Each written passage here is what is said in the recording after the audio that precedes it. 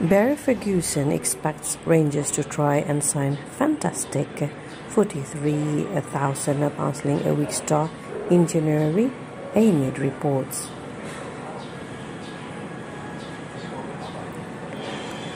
Barry Ferguson has told Go Radio that he expects Rangers to go back in for Billy Gilmour.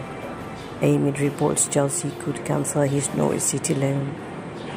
Last summer, the Pink Un reported that Rangers had been hoping to bring Gilmour back to Ibrox. Of course, he came through the Rangers Academy.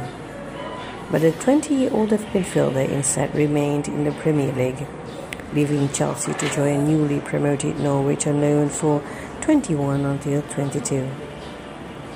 It has not gone to plan. Daniel Farke's Norwich sit rock bottom in the Premier League with just two points from the opening 10 league games. For Gilmour, he is struggling to get game time. He started four of Norwich's first five league games, but has not played a minute since September. Goals say Chelsea will make a decision in January.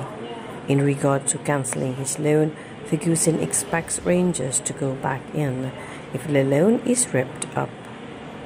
Yeah, I don't see why not, Ferguson said, on whether Rangers will re enter the window to sign Gilmour. I'm sure Rangers would be interested in him. It is worrying, you know, that I think of Billy Gilmour.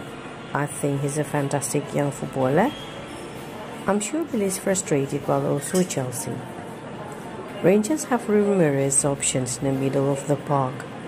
John Lundstram is coming good.